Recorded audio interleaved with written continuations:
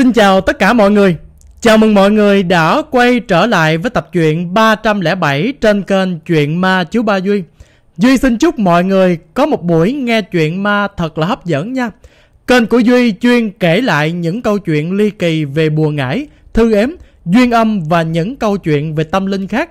Nếu bạn nào có chuyện ma muốn gửi về cho Duy kể lại, các bạn có thể gửi về Gmail cũng như là gửi về số điện thoại Zalo đang hiện trên màn hình nha mọi người.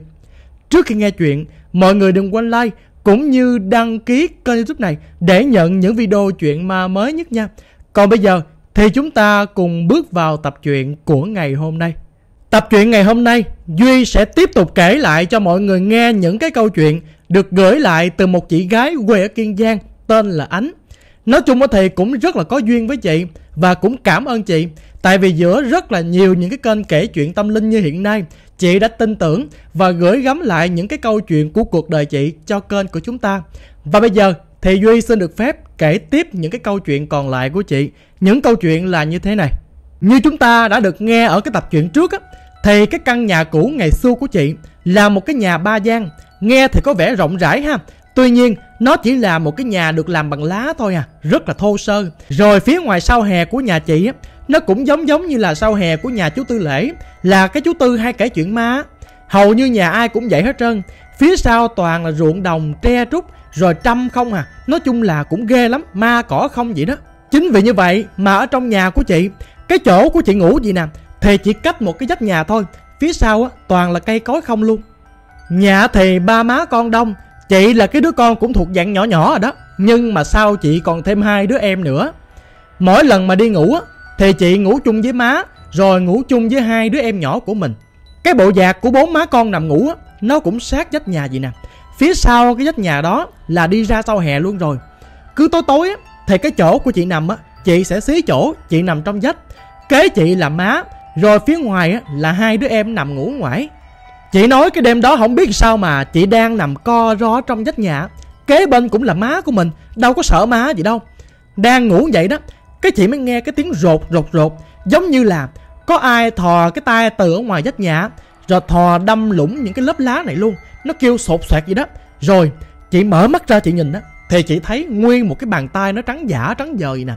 Nó thò ở đâu từ ngoài á, Nó đâm xuyên qua cái lớp lá này. Nó chọt vô cái bụng của chị á. Nó cứ xoa xoa xoa cái bụng của chị vậy nè. Rất là nhột Mà cái tay lạnh ngắt vậy đó. Chị nhìn Chị hết hồn cái là cái tay này á Nó rút thẳng ra ngoài luôn. Do là cái vách nhà bằng lá mà Mà cái lá này á, nó khô nữa Nó rất là giòn. Đụng vô cái á, là nó lủng liền à.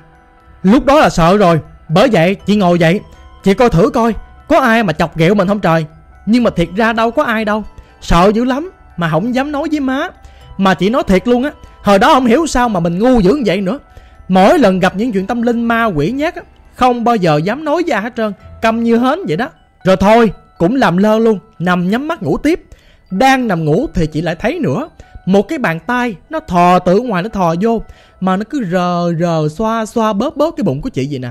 Lần này chị cảm nhận rõ ràng một cái bàn tay năm ngón luôn mà, Nó trắng nhách luôn. Như hồi lần trước nữa, Tới khi mà chị giật mình, chị nhìn thẳng vô đó, Thì nó lại rút ra, Mất tiêu luôn. Vậy đó, mà qua mấy bữa sau đâu có dám nằm ngủ chung với má nữa. Mới nhảy qua cái bộ giạc phía bên kia á, Ngủ chung với cái bà chị Tám. Thời điểm đó mấy anh chị lớn trong nhà, Người ta cũng tuổi thanh thiếu niên, Nhưng mà chưa có ai có bạn gái, bạn trai gì hết trơn á. Bởi vậy mấy anh chị mới ngủ chung với nhau. Thế vậy đó, Chị nhảy qua chị ngủ chung với người ta cho vui, Đỡ sợ. Khi mà chuyển qua đó ngủ chung với chị Tám á, Thì không còn cái cảm giác là một cái bàn tay. Nó thọt vô, Nó chọc chọc cái bụng của chị nữa. Tại vì cái chỗ của chị Tám ngủ á Không có sát cái vách tường. Nhưng mà chị Tám ngủ trên một cái bộ dáng ngựa vậy nè. Mà cái bộ dáng ngựa đó đó Ngủ ở trển cũng có chuyện chứ phải là không. Sau khi mà ngủ được một hai ngày rồi á Thì hầu như ngủ xong Sáng thức dậy là phải sửa lại cái bộ dáng ngựa này. Có nghĩa là vậy nè Cái bộ dáng ngựa được đóng bằng cây Cũng rất là nặng luôn.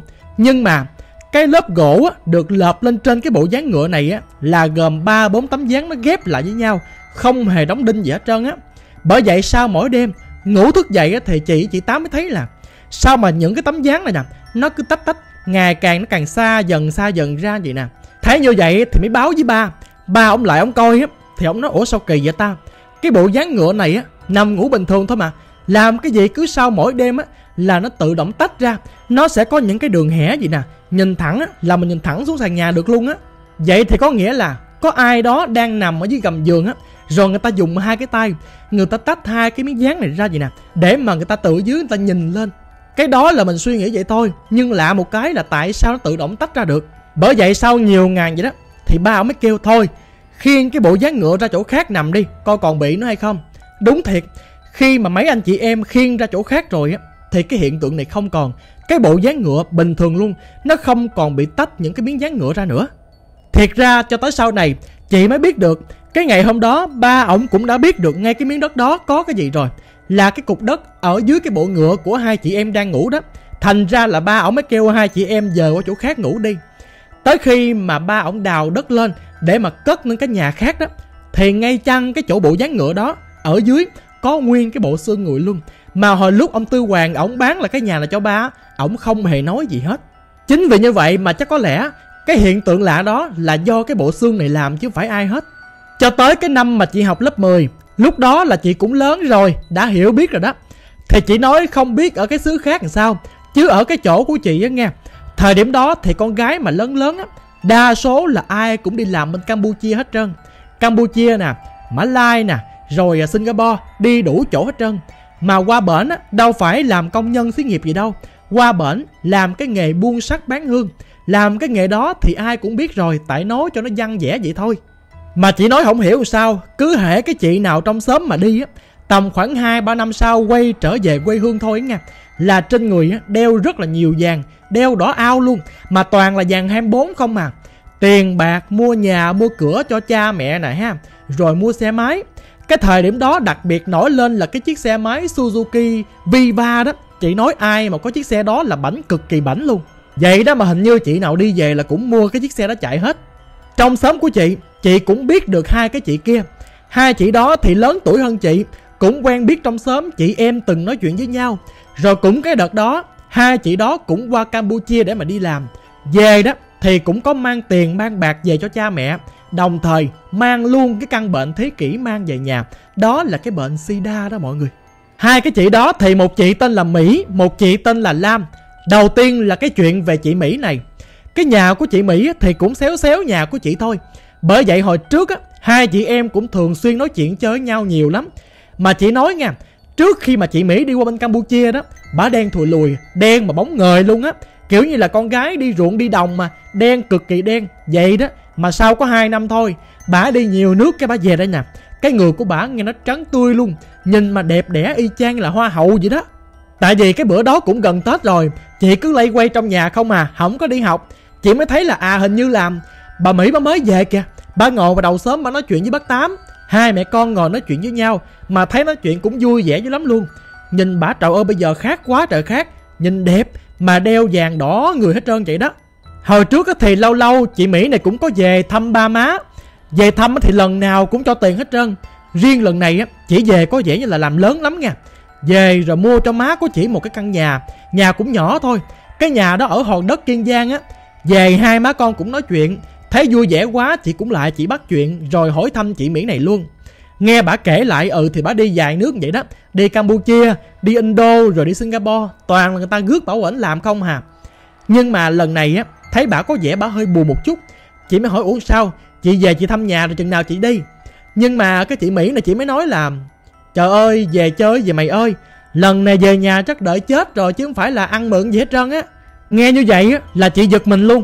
Chị mới hỏi, ủa, sao chị? Chị nói kỳ cục vậy. Thì bà nói, bị dính bệnh rồi chứ sao?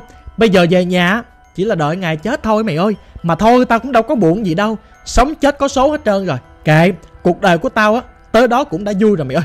Mà nói chuyện cứ cười khè khè vậy đó, Chứ đâu có buồn rầu gì nhiều đâu. Vậy là chị biết lần này bà mang bệnh. Bởi vậy bà về luôn, Bà không còn đi ở bệnh nữa. Mới nói chuyện đó, Nhìn bà đẹp ngờ ngờ vậy đó. Nhưng mà tầm khoảng thời gian ngắn sau thôi, Mới thấy là cái chị Mỹ này á, Bà xuống sắc cực kỳ luôn. Cái người của bà bắt đầu á, Nó đen sẫm lại, Không còn trắng trẻo như là cái hồi chị gặp nữa. Mà cái bàn tay của bà đó, Mặc dầu bà có sơn móng tay nha, Nhưng mà chị thấy Cái móng của bà nó đen thùi lùi à. Mà trên cái móng tay của bà nó còn những cái chấm đen đen nó kỳ lắm luôn kìa. Trong những ngày đó thì lâu lâu chị cũng qua chị thăm cái chị Mỹ này. Mà càng thăm á, thì càng thấy bà xuống sắc hơn. Nhưng mà bà cũng rất là lạc quan. Bà nói ôi chừng nào chết chết mẹ ơi tao cũng không quan tâm nữa. Rồi cứ vậy đó chỉ không có mất liền. Mà chỉ sống lay lất lay lất qua ngày tầm khoảng một năm sau luôn. Lúc này thì chị mới thấy làm cái chị mỹ này á là bà ốm nhất ốm nhôm chỉ còn da bọc xương thôi xanh xương rồi. Hai con mắt thì thụt sâu vô cái đầu thì nó chờ giờ ra gì nè. Tại vì bà ốm mà cái đầu của bà bự nữa. Thấy càng ngày càng yếu, không ổn rồi. Thì má của chị á, mới đưa chị về cái căn nhà của chị mua tặng cho má chị dưỡng già đưa về bển nằm ở đó. Thiệt ra nói là nhà mua thôi, chứ đó chỉ là một cái nhà lá nhỏ nhỏ thôi à. Để chị nằm ở bển mình ôm đi, đợi cái ngày đi thôi. Về bên bển nằm á, thì không biết cái chị mỹ này có ai chăm sóc hay không, chị không có đề cập tới. Nhưng mà chị nói nằm ở bển đựng khoảng thời gian ngắn à tại vì bắt đầu ốm dữ lắm rồi. Mà tay chân đen xì lì gì nè, đầu thì chờ giờ. Bởi vậy cũng chết luôn ngay tại cái nhà đó. Chị hai cái tin này á, là chị bàng hoàng luôn mà. Sau khi mà chị mỹ chết á, cái hồn của chị mỹ đâu có đi đâu. Chỉ quẩn quanh quẩn quanh trong cái nhà đó thôi à. Chắc có lẽ chị mỹ rất là buồn. Tại vì cái lúc mà còn sống, đi làm, đưa tiền về cho má, mua tặng cho má cái nhà này á, mà bà má của chị mỹ á, bà đâu có lo dành dụm tiền đâu. Bà chơi đánh bài, đánh số đề, chơi hết trơn tiền luôn còn cái nhà này, sau khi mà chị mỹ chết á, bà cũng bán lại cho một cái người khác. Cái người đó cũng là một cái ông trong xóm luôn, bán rẻ lại cho người ta. Người ta mua cái nhà đó, nhưng mà người ta đâu có ở. Người ta chỉ làm cái nhà kho thôi, đóng cửa bỏ không ở đó. Lâu lâu cần để cái gì đó, thì người ta mới mở cửa ra người ta xài thôi à. Sau khi mà mua căn nhà đó lại được khoảng thời gian á, thì cái chú đó, ổng cũng cho người khác thuê lại luôn. Cái người thuê đầu tiên trong cái nhà này chính là một cái người phụ nữ tên là tuyết chị tuyết quê ở long xuyên, an giang á, có vô cái nhà này để mà mướn. Chị tuyết vô đây ở á, thì chị tuyết làm cái nghề nấu bánh lọt nè, rồi làm ba cái tàu hũ này nọ đó. Ban đêm chị làm, rồi sáng sớm á, chị sẽ gánh cái đòn gánh á, đi bán dài dài đó. Bán tàu hũ bánh lọt nóng cho người ta ăn đó mọi người. Bởi vậy nguyên một ngày á, chị nấu sẵn đồ ăn ở nhà. Đợi tới chiều bán về á, là dở ra là ăn thôi. Nhưng mà ở được có vài ngày à chị thấy hầu như đồ ăn ngày nào mình nấu nó cũng thiêu nhớt hết trơn luôn. Cơm rồi đồ xào, canh này nọ, nó nhớt nhợt, nó lên mốc đâu có ăn được đâu. Bà biết cái nhà này có ma, có quỷ phá rồi, nhưng không biết cái người đó là ai thôi. Cho nên là qua những bữa sau, trước khi mà chị tuyết bà đi bán đó, bà sẽ nấu cơm xong, bà để trên bàn á, bà ấp cái lòng bàn lại. Rồi, bà để thêm cái ghế nhất nồi lên trên đó. Tại vì người xưa người ta quan niệm á ma quỷ rất là sợ cái đồ cái ghế nhất nồi. Thiệt ra thì cái đó nó cũng đơn giản thôi, chỉ là một cái vật dụng được đan bằng tre nứa thôi à. Hồi đó, đàn bà đẻ hay là nhà có ma đó, người ta thường hay treo ngay cửa sổ, treo ngay cửa chính vậy nè. Cái đó là cái quan niệm ngày xưa thôi à. Chị cũng để lên. Vậy đó, mà khi chị tuyết này bả đi bán về bả cũng dở cái lòng bàn ra bả ăn cơm á thì bả thấy hoàn toàn bình thường, không còn bị thiêu như mấy ngày trước nữa. Chính vì như vậy mà bả biết rồi bà biết cái tác dụng của cái ghế nhấc nồi này rồi. Người ta sợ không có dám động chạm vô. Nhưng mà tới tối đêm đó, khi bà ngủ trong cái nhà này á, thì bà mới thấy một cái người con gái. Cái người con gái này á, hình dáng y chang như là chị mỹ trước khi chết luôn. Rất là ghê. Mà về chửi thẳng mặt với bà, tại sao mày? Tại sao đồ ăn á mà mày đậy lại? Mày để ghế nhấc nồi lên chi vậy? Tao sợ, tao không dám đụng vô đó tao đâu có gì đâu tao ăn. Nghe chửi nguyên một tràng luôn á, thì bà tỉnh dậy ngay lúc đó là bà biết rồi, bà biết cái nhà này có cái dông của cô gái đó rồi. Bởi vậy là qua ngày hôm sau, khi mà chị bưng cái đòn gánh, chị đi bán bánh lọt đó, chị cũng hỏi những người vòng vòng ở đây thì người ta nói, trời ơi, cái nhà đó hả? Của con nhỏ đó, nó bị bệnh, bị sida, rồi nó ở trọng á, nó chết trong cái nhà này luôn. Mày thấy có cái mã đất kế bên không? Là cái mã của nó đó. Tại mày mới về đây mày ở, mày không biết hết chứ mấy cái ông mà chạy xe ôm gần đây nè, hầu như ai cũng thấy nó hết trơn á. Lâu lâu á, cái nó ngoắt người ta nó cũng lên xe luôn người ta chở.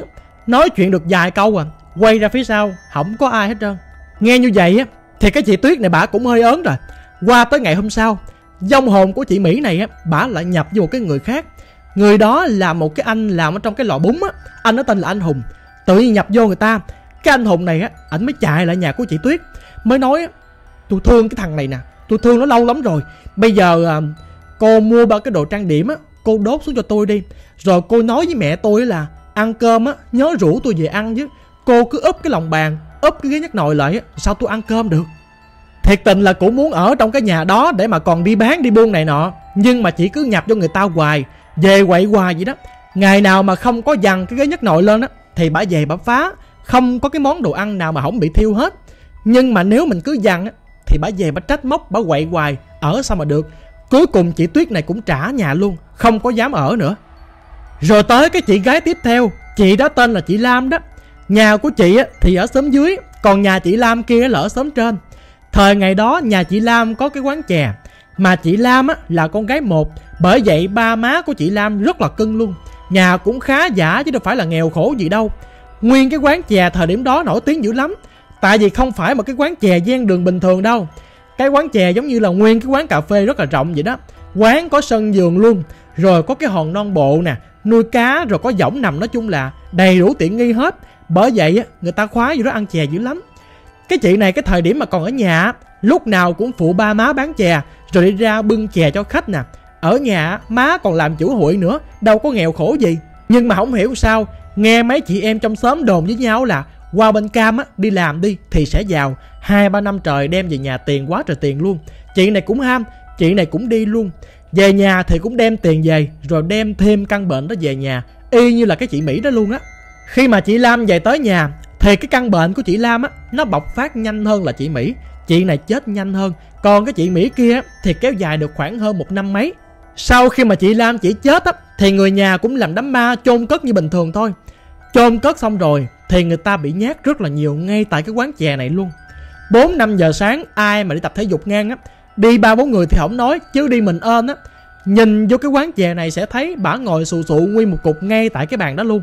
Ghê hơn là cái lần đó tầm khoảng 5 6 giờ chiều rồi, trời cũng nhá nhem tối. Mà cái quán này là cái quán sân giường bởi vậy nó tối hơn ngoài đường rất là nhiều. Do cái quán này cũng nổi tiếng mà, bởi vậy người ta cũng kéo vô người ta ăn chè. Nguyên cái nhóm tầm khoảng ba bốn người đó, ngồi rồi kêu chè. Kêu xong á, thì má của cái chị này mới vô làm chè cho người ta.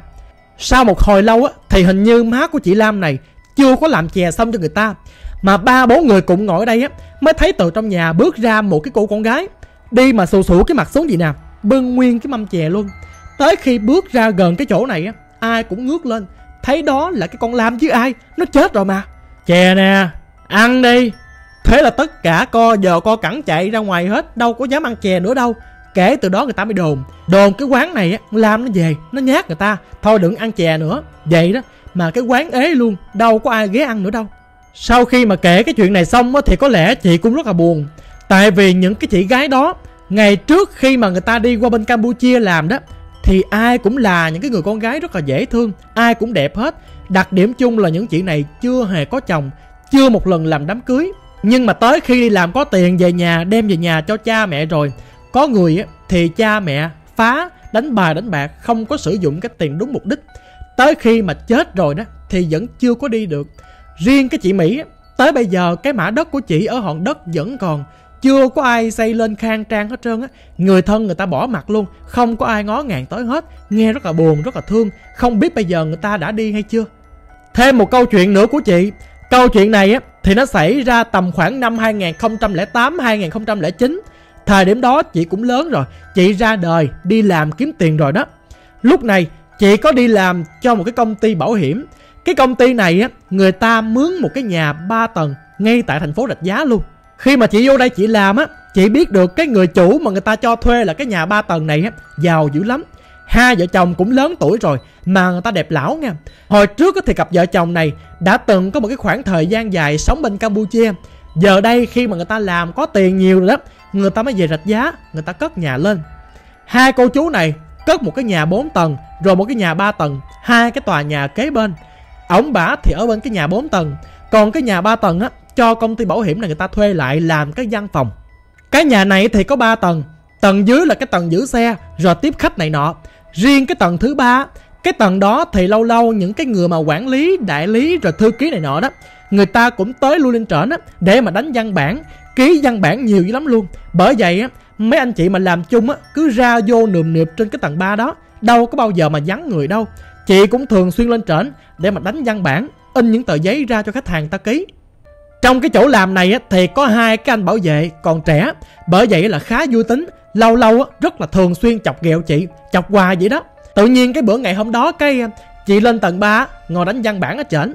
Mà không hiểu sao có mình anh chị à không có ai trển luôn á. Giờ đó cũng đầu giờ chiều rồi tầm khoảng một giờ mấy 2 giờ mà không thấy ai lên trển hết. Thôi chị cũng ngồi chị ngồi tại một cái máy tính á chị đánh văn bản. Mà cái chỗ ngồi của chị nó ngay cái cửa ra vô luôn. Chị đang ngồi vậy đó Thì chị luôn có cảm giác giống như là có ai đang đứng ngay phía sau lưng của chị? Rồi người ta chơi cái trò cuốc bắt á, Kiểu như là đứng ở đây, Cái thập ló đằng này đằng kia. Mặc dầu cái con mắt của chị lúc nào nó cũng chăm chăm, Nó nhìn như cái bàn phím, Như là cái màn hình máy tính gì nè. Nhưng mà lúc nào chị cũng có cảm giác là có ai đang thập ló thập ló phía sau lưng á, làm hoài luôn, giống như ai đang giỡn vậy đó. Mới đầu chị cứ tưởng đâu á, hai cái thằng quỷ bảo vệ á, nó ở đó lên nó giỡn với mình không hà tuy nhiên do cái công chuyện bận quá, một hồi còn đi gặp khách hàng nữa. Đâu có rảnh đâu mà giỡn. Hai cái thằng quỷ này giỡn hỏng đúng lúc, hỏng đúng chỗ rồi. Rồi cái chị cũng ngồi, chị gõ tiếp. Gõ cọc cọc cọc gì nè? Đang gõ thì chị cũng có cảm giác nữa.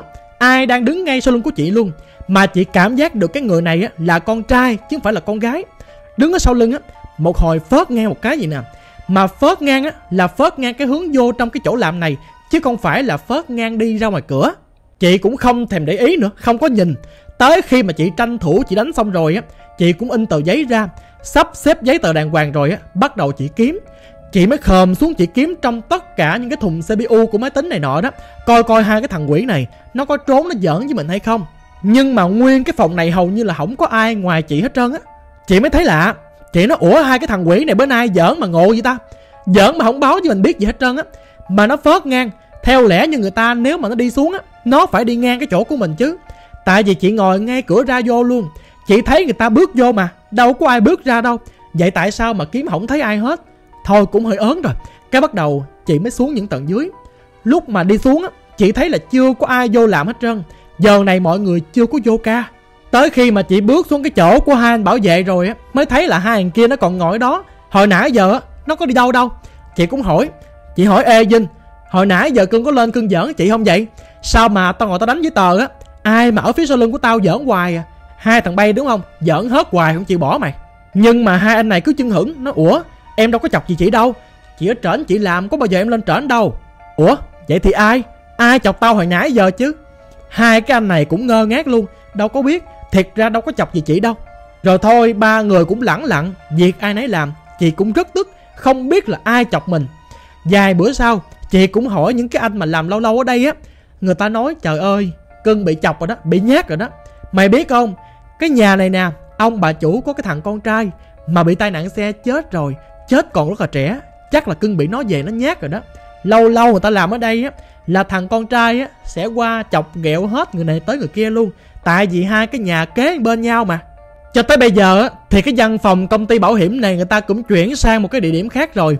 Đó chỉ là những cái kỷ niệm cũ của chị thôi tuy nhiên những cái chuyện liên quan tới công chuyện bảo hiểm này á nó vẫn còn nó xảy ra trong những cái lần mà chị đi thu phí bảo hiểm ở nhà người dân á lần đó chị có chạy xe chị chạy vô cái khu vực mà ấp dàm biển xã Linh Quỳnh ở hòn đất Kiên Giang á để mà thu phí. Cái khu vực đó người quen của chị cũng rất là nhiều. Cái năm đó là năm 2008, chị chạy cái chiếc xe Attila Elizabeth á. Chiếc xe này thì cái ông anh thứ ba ổng mua tặng cho chị. Tại vì anh ba sau này lớn lên ổng định cư bên Mỹ, chi phí tiền bạc trong nhà là ổng lo hết trơn đó. Thường thì mỗi lần chị đi thu phí chị sẽ đi tầm khoảng 1 giờ rưỡi trưa là đi rồi. Thu phí chỗ khác thì không nói tới, nhưng mà cứ hễ mỗi lần chị vô trong cái xã Linh Quỳnh này chị thu phí thì toàn người quen không à. Cho nên là quen mặt với người ta. Kiểu thu phí bảo hiểm định kỳ mà. Chị nào nhà nào cũng quen biết hết. Vô đó thu tiền xong cái bắt đầu ngồi nói chuyện. Cà kê dê ngỗng hết nhà này tới nhà kia. Tới chiều muộn mới bắt đầu đi về. Bữa hôm đó cũng vậy. Chị thu phí tới gần 5-6 giờ chiều rồi. Tới cái nhà cuối cùng cũng đã quá trễ.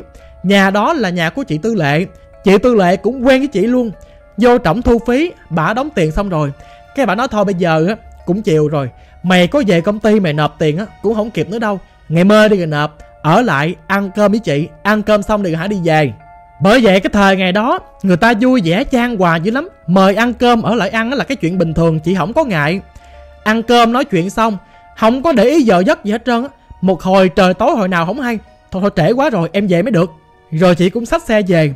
Mà chị nói, ở trong cái ấp dàm biển này á ha, Mà muốn đi ra ngoài cái lộ Linh Quỳnh á, Tầm khoảng 20 phút mới ra được cái lộ lớn. Cái đoạn đường từ đây ra ngoài á, Là cái con đường đan thôi. Nó nhỏ xíu à Chỉ vừa đủ hai chiếc xe máy qua mặt nhau thôi đó. Mà cái đoạn đường này nó cũng rất là vắng nha. Khi mà mình muốn chạy xe ra lộ lớn á, Thì bắt buộc mình phải đi ngang cái đoạn lộ này. Mà cái đoạn lộ này á, Bên phải là cái con sông. Bên trái vừa là nhà của người dân, mà vừa là ruộng là rẫy không à. Người ta trồng bắp nè, trồng mía, trồng ba cái cây gì tùm lum hết trơn gì đó. Rồi có nhiều khúc vắng không có nhà cửa gì hết. Toàn là người ta trồng cây không à. Rồi ở dưới là cái mé sông. Chị cũng rất là ớn luôn. Nhưng giờ này lỡ rồi, phải đi về, chứ đâu có ở đây được thời điểm đó thì những con đường nhỏ vậy á, đâu có đèn đường gì đâu. Chị bắt đầu chạy về á, thì phía bên tay trái cũng có nhà người dân nha. Bên tay phải cũng là cái sông đó. Chạy từ từ từ từ cái bắt đầu á chị phải chạy ngang nguyên khúc vắng luôn. Không có nhà ai hết trơn á. Đang chạy tới đó thì chị mới thấy là phía bên phải của chị là từ dưới sông á. Bên đó là nguyên một cái hàng cây tràm cặp mé sông vậy nè. Tự nhiên nó nhảy ra nguyên một cái con gì đó, nó bự dữ lắm luôn cái thân hình của nó y chang một con heo ná gì đó, nhưng mà cái đầu á là đầu con chó. Một cái con thú mà từ hồi cha sanh mẹ đẻ tới giờ á, chị chưa thấy bao giờ luôn. Đầu chó mình heo. Nó chạy làm sao mà nó cắm đầu cắm cổ? Nó đâm thẳng vô cái bánh xe của chị vậy nè. Nó đâm làm sao? Chị ngã một cái rầm chị ngã về phía bên tay trái. Lúc này bên tay trái của chị là nguyên cái rẫy bắp luôn. Ta trồng bắp nhiều dữ lắm.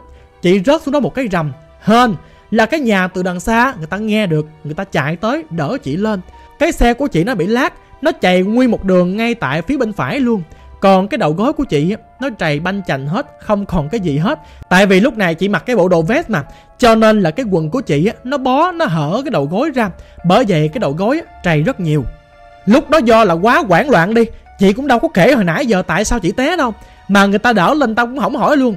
Tuy nhiên, chị có nghe người ta lầm rầm với nhau á, người ta nói là bị rồi, nhỏ này bị rồi đó. Nó về, nó giả dạng, nó xô cái xe rồi chứ gì. Hên là cái xe vẫn còn chạy được. Bởi vậy chị ráng chạy cái lỗ lớn á. Chị đi sửa cái xe này luôn. Thời điểm đó mà chị phải sơn tĩnh điện cái xe này lại hết 2 triệu rưỡi đó, rất là lớn. Về nhà tối đêm đó là chị riêng mình luôn. Kiểu té xe mà, đâu có chịu nổi. Ráng tới sáng hôm sau, đem tiền nộp vô công ty. Cái chị mới điện lại cho cái chị lệ á, là cái chị tối đêm qua chị ăn tối nhà của chị đó đó. Chị mới kể, trời ơi, hồi tối đêm qua em té chị ơi cái bảo hỏi khúc nào? Mày té khúc nào kể tao nghe coi. Chị nói em té ngay tại cái khúc mà có cái rễ bắp á. Bà nói đúng rồi. Cái chỗ đó có con tin là quỷ đó. Nó hay giả dạng con này con kia lắm. Nó xô xe người ta hoài à mà chị quên nói với cưng nữa. Thôi, mai mốt á, đừng có về tối nữa nha. Trưa trưa rồi về. Chị nghe là chị sợ quá trời luôn. Nhớ lại cái hình ảnh con này á, là không thể nào chịu nổi được nữa. Bởi vậy những lần sau á, bà có rủ ăn cơm á, thì chỉ ráng ăn cơm trưa thôi, chứ không dám ở lại buổi chiều nữa khép lại cái chuyện đi thu phí ở linh quỳnh.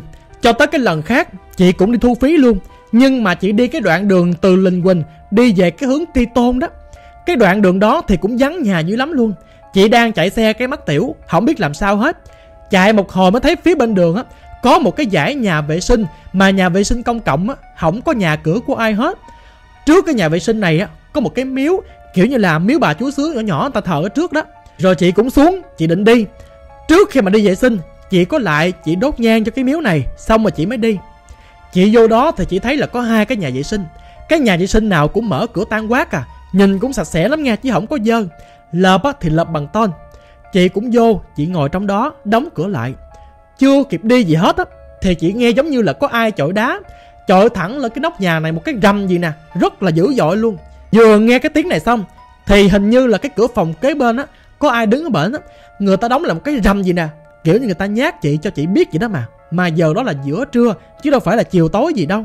Nhưng lạ một cái, trước khi hai cái hiện tượng này xảy ra, thì chị vừa bước vô thôi. Chị cảm giác giống như là có nguyên cái luồng điện. Nó chạy dọc cái xương sống của chị vậy nè. Là chị biết rồi. Chị biết cái chỗ này có chứ không phải là không. Rồi thêm một lần bị nhát nữa. Lúc đó chị có đi thu phí ở cái khu vực gần chợ tri tôn á. Đang đi trên đường gì nè. Thì chị cảm giác giống như là cái bánh xe của mình á sao mà nó cứ trẹo qua trẹo lại gì nè? Nhìn nó thì biết đã bị lủng bánh xe rồi. Thôi, nhanh chóng tấp vô lề đường á, kiếm đại cái chỗ sửa xe nào đó để mà sửa bánh xe của mình. Vô cái tiệm giá ép á, thì người ta mới nói, trời ơi, cái xe của chị nó cán đinh rồi. Đợi đây tôi giá cho. Mà cái xe này á, là cái loại vỏ không có ruột, giá nó cũng hơi lâu đó. Chị cũng ngồi chị đợi. Mới vừa ngồi đợi thôi á, thì chị lại mất tiểu nữa. Cho nên mới hỏi người ta, ủa à, cái nhà vệ sinh đâu vậy anh? Ảnh chị á, tuốt phía sau á chị đi thẳng ra ngoài đi. Chị thấy là cái nhà này hình như là chỉ có hai vợ chồng ở nhà thôi, không hề có con nít hay là người khác gì hết trơn á. Chị cũng đi thẳng cái đường hẻm này ra phía sau. Ở phía ngoài này là cái nhà sửa xe, rồi phía trong á là cái phòng ngủ của hai vợ chồng người ta. Phía sau nữa là cái nhà vệ sinh ở ngoài, chỉ có một cái phòng vệ sinh thôi. Cái con đường đi á, nó cũng thoáng dữ lắm, chứ không phải là âm u tối tăm gì hết trơn á. Mà cái cửa nhà vệ sinh này á, Nó hở ra khúc gì nè. Mình ngồi ở trong, Mình có thể thấy được các người đứng ở ngoài. Y chang lần trước nữa, Mới vừa vô ngồi thôi, Đóng cái cửa lại á, Là chỉ có cảm giác Một cái luồng điện Nó tê tê gì nè. Nó chạy dọc sống lưng của chị luôn. Hầu như chị để ý nha Lần nào có cảm giác này á, Là hình như xung quanh của chị có người âm, Có ma chứ không phải bình thường. Lần này thì nó ghê hơn, Tại vì chị mới ngồi đựng xíu à. Cái bắt đầu chị nghe ai ngoài gõ cửa rầm rầm rầm gì nè. Mà cái cửa đó như là cái cửa bằng thiết vậy đó. Gõ xong cái bắt đầu im. Chị mới nghe ai kêu, ê Ê, đây rõ ràng là cái tiếng của cái người đàn ông. Nghe rõ ràng vậy luôn đó. Nhưng mà người ta không nói gì hết. Cái chị lắng nghe thiệt là kỹ Thì chị nghe người ta thở khi khi khi nè. Thở thở rất là mạnh luôn. Thở như trâu vậy đó. Tới khi mà chị đi gần xong á, Chị mới thấy là có một cái bàn chân người ta đi lại. Do nó hở được con xíu à. Bởi vậy, chị thấy được một cái khúc giò của ổng gì nè. Cũng có lông lá luôn. Đây là cái giò của ông đàn ông. Chị cứ nghĩ đâu á, Người ta ở ngoài người ta cần đi vệ sinh không à. Cũng tranh thủ lẹ lẹ, Làm cho xong. Vừa quay ra cái không thấy cái chân này nữa. Mở cửa ra, Chỉ có mình ơn chị thôi, Chứ đâu có ai nữa đâu. Lúc này phải nói chị rất là sợ luôn. Bởi vậy chị tung cái cửa nhà vệ sinh ra rồi á, Chị đứng ra ngoài. Chị đi, mà chị cứ nhìn giáo giác vậy nè. Nhìn ra sau lưng của mình á, Coi có ai. Không biết hồi nãy là người thiệt hay là ma nữa. Giữa ban ngày mà. Chị cũng thừa biết, Cái nhà này á có hai vợ chồng thôi à Đâu còn ai nữa đâu. Trên cái đoạn đường khi mà đi ra phía trước á, Chị có gặp cái bà vợ của cái anh sửa xe. Cái bà vợ này á, Bà nhìn chị bằng một cặp mắt rất là e dè, Nhìn kiểu như là bà nghĩ, Không biết con nhỏ này á, Nó có ăn cắp đồ trong nhà của mình không? Sao mà nó đi mà nó cứ ngoái là nhìn hoài vậy ta? Nhưng mà chị có ăn cắp gì đâu, chỉ là chỉ sợ ma thôi, Không biết đó là ma hay người. Thôi, ra ngoài thì cái xe cũng sửa xong rồi. Nhanh chóng trả tiền rồi chạy về luôn. Lần sau rất là ớn. Không dám đi ngang con đường này nữa đó. Thêm một câu chuyện nữa. Câu chuyện này á, thì chị được một cái người bạn bên Trung Quốc kể lại cho chị nghe. Đây cũng là một cái bài học cảnh tỉnh Dành cho những chị em nào có chồng nước ngoài á, Mà có những cái tính tình lăng nhăng, Muốn tìm một cái người khác bên cạnh chồng của mình. Cái câu chuyện là như thế này nè. Chị nói thì chị có quen biết một cái chị gái kia. Chị gái đó tên là Quyền. Hồi năm 2016 thì chị Quyền có qua bên Trung Quốc lấy chồng. Cái người chồng này thì gia đình nói chung là cũng không có khá giả, Mà cũng không có phải thuộc dạng nghèo khổ. Nhà của người chồng thì ở bên tỉnh Chiết Giang, Trung Quốc, Một cái nơi vùng núi hẻo lánh thôi, Chứ không có gần thành phố gì hết trơn á. Về bên đó, chị này cũng có một cái đứa con rồi. Nhưng mà cái khu vực này á, Do nó hẻo lánh quá, người dân sinh sống cũng ít, mà cái người Việt Nam của mình ở bển hầu như là không có ai luôn. Bởi vậy đâu có ai đâu mà trò chuyện với nhau. Người trong nhà đa số đi làm hết trơn rồi mỗi lần mà thèm đồ ăn Việt Nam á không có có. Tại vì trong chợ á người ta bán toàn đồ Trung Quốc không à. Nói chung cái cuộc sống rất là tẻ nhạt rất là buồn chán luôn. Tối ngại thì cứ ở nhà vòng vòng vậy đó mà trong khi cái anh chồng của chị Quyền này á ảnh còn phải đi làm ăn xa nữa. Làm ở tuốt ở trung tâm thành phố Thượng Hải á, xa dữ lắm. Trung Quốc nó rộng lớn vừa gì. Thấy cuộc sống của mình nó cũng buồn chán quá Không biết làm cái gì. Bởi vậy mỗi ngày là cho con cái của mình ăn xong Cái bắt đầu cầm cái điện thoại. Lướt điện thoại coi từ sáng tới chiều gì nè. Thì cái chị Quyền đó Chỉ có vô cái phần mà tìm quanh đây trong Zalo đó. Chỉ mở ra Thì chị mới thấy là à Cái tính năng này á, Nó cho phép mình kết bạn và nói chuyện với rất là nhiều người khác luôn. Trong đó có nhiều người Việt Nam dữ lắm. Thì cuối cùng, cái chị đó đã kết nối được với một cái anh trai. Anh trai này hiện tại đang sinh sống tại Việt Nam, Ảnh ở Vũng Tàu á, Ảnh tên là Tài. Sau khi mà kết bạn được với nhau rồi á, Nói chuyện cũng qua lại đôi ba câu. Cái chị này cũng đi làm công chuyện của mình, Nhưng mà đâu có buông được cái điện thoại đâu. Nói xong á thì phải nói tiếp nói tiếp nói tiếp. Hai người cứ trò chuyện hoài. Cái anh Tài kia thì cũng là một cái người đàn ông thôi, vợ rồi. Bởi vậy, ảnh đã nhắm vô chị này rồi, Bắt đầu thương rồi hay sao đó. Hai người trò chuyện hoài, Rồi nói cho nhau nghe cái chuyện cuộc sống sao, Làm gì như thế nào. Thì cái chị Quyền cũng biết được, Anh Tài hiện tại Ảnh đang ở trọ tại Vũng Tàu á Đi làm công nhân ở ngoài. Mà chị Quyền nói ảnh rất là bạo luôn. Mới nói chuyện có một hai ngày à Cái bắt đầu á Ảnh biết được cái chị Quyền đang có một cái đứa con gái. Ảnh nhắn tin ảnh kêu là Thôi em về Việt Nam đi Rồi ở với anh Anh lo cho con. Gặp mặt con của chị này á Mở video call lên nói chuyện mà. Khi mà gặp bé này á ảnh kêu con của chị Quyền á, bằng con gái không à? Lúc đó thì trong nhà cũng ít người chỉ có một cái đứa em chồng thôi. Chồng á, thì đi làm ăn xa thành ra là cái chị Quyền này á, cứ tự tiện nhắn tin qua lại với cái anh trai đó hoài luôn. Ăn cơm uống nước làm cái gì cũng gọi điện thoại cho anh hết trơn á. Gọi video call thấy mặt nè Mà mỗi lần gọi là sẽ đưa con gái của mình vô Cho nó nói chuyện với chú kia luôn. Chị Quyền nói ban đầu á Chỉ không hề có ý định xấu là ngoại tình gì hết trơn á. Tại vì chỉ thừa biết rằng Cái anh Tài này ảnh ở Việt Nam Mình đang ở Trung Quốc mà Sao mà về được Mình cũng có chồng rồi. Chỉ là buồn chán quá Muốn lên mạng tìm người nhắn tin trò chuyện với nhau thôi. Cái anh chồng á, Thì ảnh cũng đâu biết tiếng Việt. Chị này cũng đâu biết tiếng Trung Quốc nhiều đâu. Bởi vậy, cái khoảng cách của hai vợ chồng á, Nó cũng xa dữ lắm. Nhưng mà càng ngày càng ngày á, Giống như là chị bị ghiền vậy đó. Không điện cho anh này là không có được nha. Chị nói sao mà thấy ảnh nói chuyện mềm mỏng mà dễ thương quá à. Nghe ngọt, rót mật vô tai vậy đó. Chị cũng mê rồi. Rồi thế là cứ nhắn tin trò chuyện với nhau hoài cho tới một ngày. Tự nhiên ảnh nói chị một câu á, Em ráng sắp xếp về Việt Nam đi, Rồi ở với anh Anh nuôi con em cho. Ngay sau câu nói này á Chị nói nghe cái người của chị cồn cào mà nóng bức dữ lắm luôn Rất là muốn về Việt Nam để mà gặp cái anh đó. Mọi người hiểu được cái cảm giác giống như là mình chuẩn bị sắp sửa mua một cái món đồ gì vậy đó. Mình nôn dữ lắm, không ngủ nghe gì được hết. Cái cảm giác của chị Quyền y chang vậy luôn. Nó nôn nóng mà nó cồn cào kỳ cục dữ lắm kìa. Bởi vậy thôi, chị quyết định đặt vé máy bay ẩm con của mình về Việt Nam để mà gặp cái anh Tài đó. Tại vì ảnh nói á, em về đây đi Rồi à, anh dẫn con đi học trường mẫu giáo. Gần cái chỗ của anh ở, trường mẫu giáo nhiều lắm. Rồi anh đi kiếm chỗ cho em đi làm, Vợ chồng mình ở chung. Kể từ cái thời điểm đó là bắt đầu chị coi cái anh chồng hiện tại của mình bên Trung Quốc bằng không rồi đó. Trong đầu của chị chỉ có duy nhất cái anh Tài đó thôi. Nhanh chóng hai mẹ con cũng về Việt Nam. Phải chi mà chị còn sống ở Trung Quốc, Thì mặc dầu cái cuộc sống nó có tẻ nhạt, Chồng mình làm ăn xa vậy đó, Nhưng mà mình vẫn có nhà, có cửa. Mẹ con ở nhà thoải mái, Đâu có phải chịu áp lực với ai đâu. Nhưng kể từ khi mà chị quyết định về Việt Nam á, cái chuỗi ngày sống như địa ngục của chị nó bắt đầu.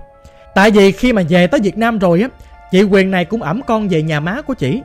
Thăm má của chị được có một buổi trời à Cũng bắt đầu á, Kêu cái chiếc xe, Chở tất cả những cái món đồ mà hồi trước giờ chị Quyền từng mua để bên nhà má của chị Quyền á Chỉ chở từ đó, chở ra ngoài Vũng Tàu, Đưa vô rồi chất vô trong cái căn nhà trọ của anh Tài á, Để trong đó cho hai người sống chung với nhau.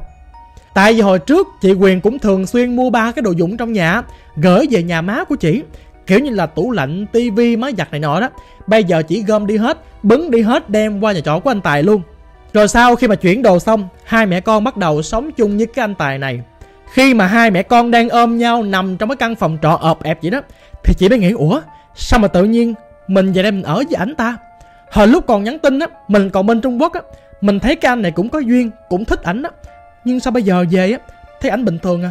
Không thích gì hết trơn á. Ủa, sao mình ở đây? Nhưng mà không biết vì lý do gì mà chị không thể nào thoát ra được khỏi căn trọ này. Vậy đó, mà ngày ngày vẫn cứ ăn bám ảnh ở trong cái căn phòng trọ này. Tại vì đâu có đi làm gì đâu.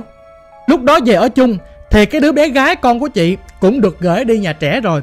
Ngày nào cũng vậy hết, anh tài đó, ảnh sẽ đưa nó đi học, rồi ảnh rước nó về. Chỉ mình ơn chị á, là tối ngày ở trong căn phòng trọ thôi, chứ không có đi đâu hết nhiều lúc cũng suy nghĩ, Ủa, tại sao mình lại ở đây chứ? Mình ở đây làm cái gì? Trong khi ảnh cũng đâu phải thương yêu gì mình đâu. Cái mối quan hệ giữa hai người Không phải là người yêu vợ chồng gì hết. Vậy thì ổng kêu mình về đây làm cái gì trời?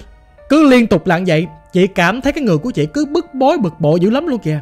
Tại vì tối ngày chỉ giam mình trong căn phòng trọ thôi hà. Chính vì như vậy đó mà cái thể trạng của chị này đâu có được mạnh giỏi gì đâu. Ở trỏng tối ngày cứ ốm yếu, bệnh rề rề hoài.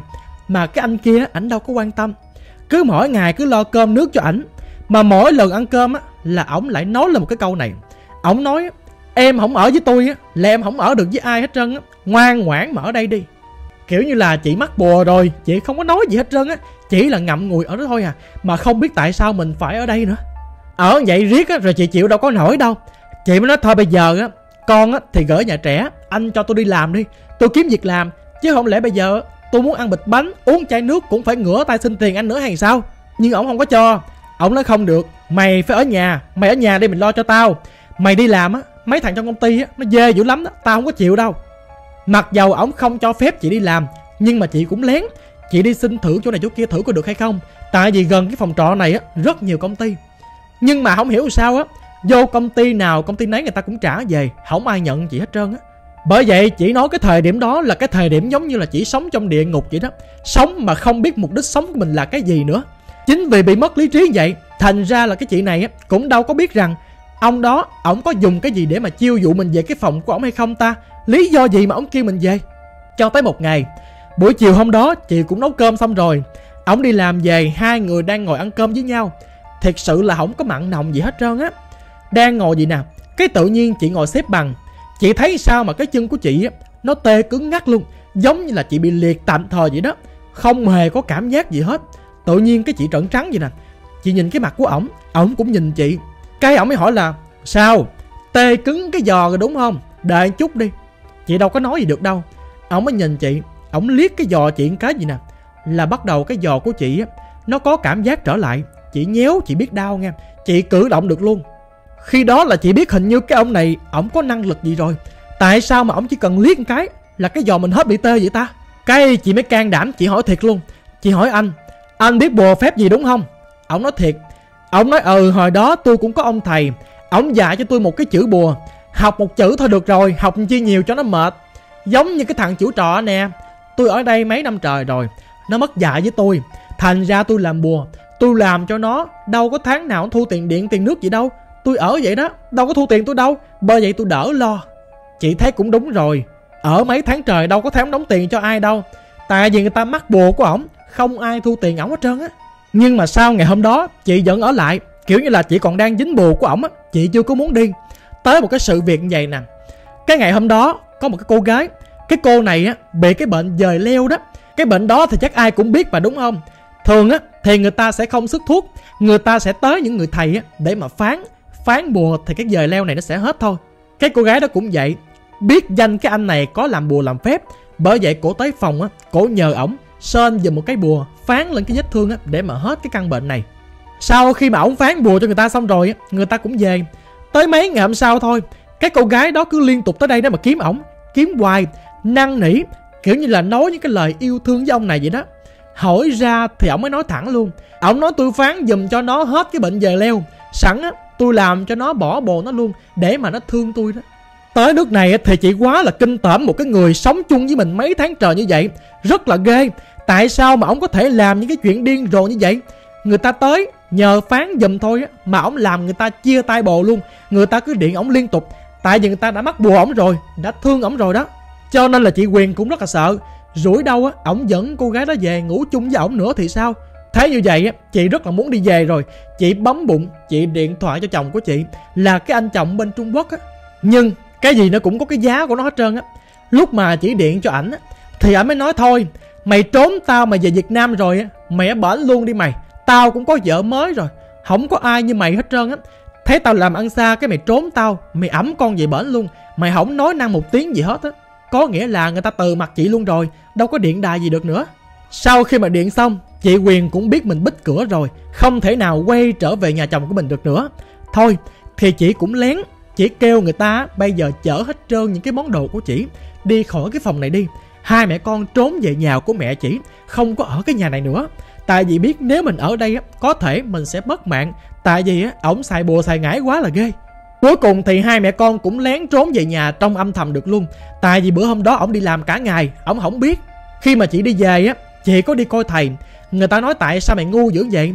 Mày gia vô cái thằng đó. Tại sao mày có chồng rồi? Mày lại nhắn tin qua lại với cái thằng này. Thằng này nó chơi bùa chơi ngải để mà dụ mày. Làm cái bùa nghe, bùa yêu cho mày về đó để mà cung phụng cho nó đó. Ở mà lâu dần á, thậm chí mày có thể bỏ mạng ngay tại cái phòng đó luôn đó. Sau cái vụ này á, thì thầy cũng có gỡ dùm cho chị quyền luôn. Rất là hên, chị cũng bình an, không có chuyện gì hết. Gỡ xong á, thì hai mẹ con chị quyền cũng quay trở về nhà của ba má ở. Một thời gian sau chị quyền cũng được làm mai làm mối, cưới thêm một cái người chồng bên trung quốc nữa. Hiện tại đang sống ở bển rồi, không có bị cái trường hợp giống vậy nữa, tại vì cũng tởn rồi. Cho nên sau khi mọi thứ lắng xuống rồi, chị quyền cũng có kể lại câu chuyện này cho chị. Hy vọng là tất cả những cái chị em nào đang có chồng nước ngoài á, thôi, đừng có dại dột mà làm những cái chuyện giống như cái chị quyền này. Không có tốt đâu. Nhiều khi á, mình thấy ai mình cũng quen đại, cuối cùng mình chuốc họa vào thân đó. Nghe tới đây thì tập truyện ngày hôm nay của chúng ta cũng đã kết thúc những câu chuyện của chị này á, thì vẫn sẽ còn trong cái tập tiếp theo nữa. Trước khi kết thúc câu chuyện, mọi người đừng quên like cũng như đăng ký kênh youtube này để nhận những video chuyện ma mới nhất nha. Nếu các bạn thấy câu chuyện này hay, có thể để lại bình luận bên dưới cho mọi người cùng biết với nha. Còn bây giờ thì chúng ta cùng chờ đợi những tập truyện thật hay tiếp theo nha mọi người. Xin chào tạm biệt mọi người.